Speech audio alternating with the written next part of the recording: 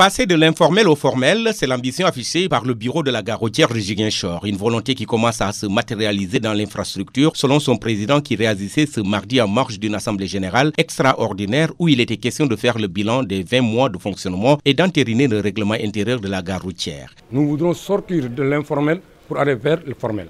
C'est une révolution. Nous sommes en train de moderniser. Vous avez vu, vous avez constaté. Nous allons sortir sur les cahiers pour aller vers le numérique. Cet élan de modernisation de cette gare routière s'est heurté au refus catégorique d'une partie des transporteurs et d'une bonne partie des usagers ce mercredi matin. Une matinée très mouvementée, des journalistes brutalisés, des essences de coups de poing entre les deux camps, entre autres. C'était la triste image dans ce lieu très fréquenté. Le projet d'augmentation des prix de transport de 100 francs, c'était avant la Tabaski.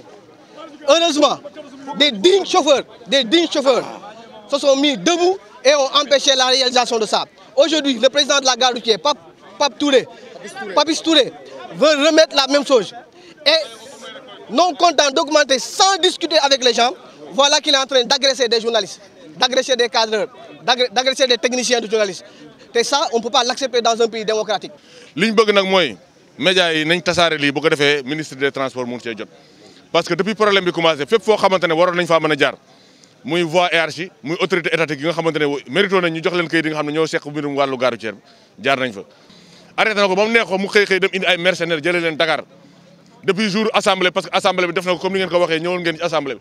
Def na ko limal ñu 151 millions ba 14 millions gare routière bi yéen ñi ay ay journalistes. Wax leen ñu en tant que journaliste 51 millions ba 14 millions fan ngeen ko gis ci garage fii? 45 151 millions. 151 millions ba 14 millions yoo xam ne gisoo ko. Wax leen ñu fii ci gare routière fii fan ngeen gis foo xam ne 45 chargement suuf xaj na fii ngeen ñuy wax. Gis nga dafa am loo xam ne gis nga nit ki mënul nekk di fooyee xelu nit ñi.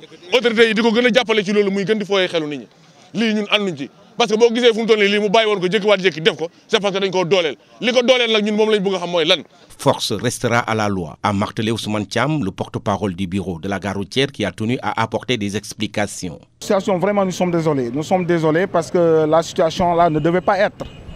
Parce que le projet là où ces gens soi-disant opposants s'opposent, ça a été longuement réfléchi. On a tenu de multiples réunions ensemble avec eux pouvoir, pour pouvoir adopter à ce projet. Maintenant, en dernier recours, nous avons fait une assemblée générale hier extraordinaire, là où tout le monde, je, je, je ne vais pas dire tout le monde, mais les 90% de l'assemblée ont approuvé pour vraiment opter ce projet et mettre ça en œuvre. Il s'agit d'un projet de la modernisation de la gare routière et l'informatisation de la vente des tickets de la gare routière pour mille raisons. D'abord, identifier le passager, identifier le conducteur, identifier euh, la sécurisation des bagages et c'est pour l'intérêt général des passagers et du transport en général. Là, ce n'est pas une augmentation, mais c'est une offre du, bailleur. Ceux-là qui crient aujourd'hui, veulent rester, ils veulent rester dans le système informel.